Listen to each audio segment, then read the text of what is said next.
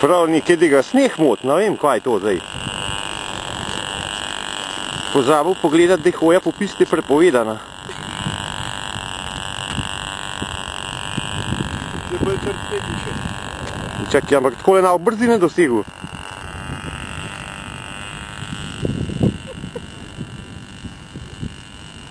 No. Evo.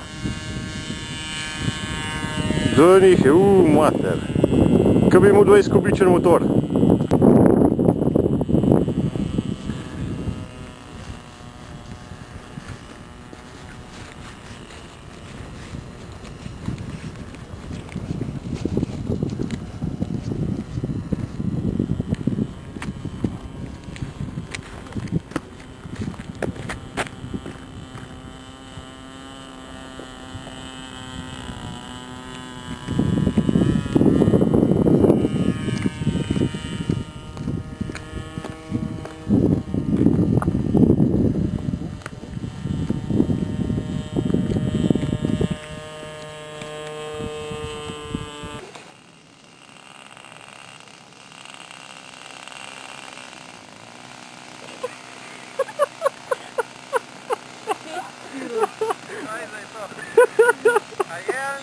Je, je. Koliko pirov je to?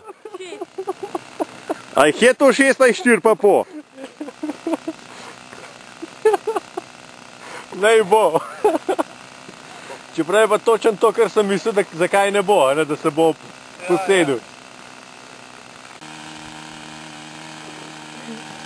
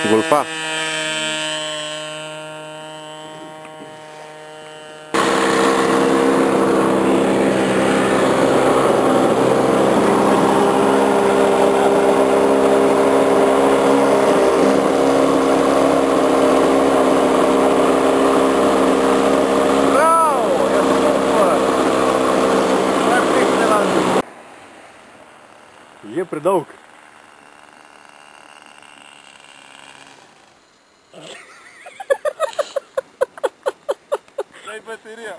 A je to podmorenca, a je to...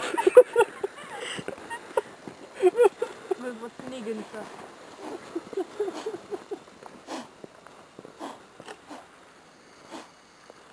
Tako jezen, da kar piha. Ega.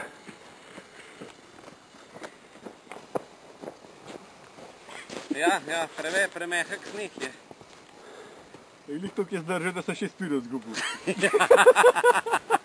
Tako pr, veš ko, človek mora biti stimuliran, pa pa zna pristati.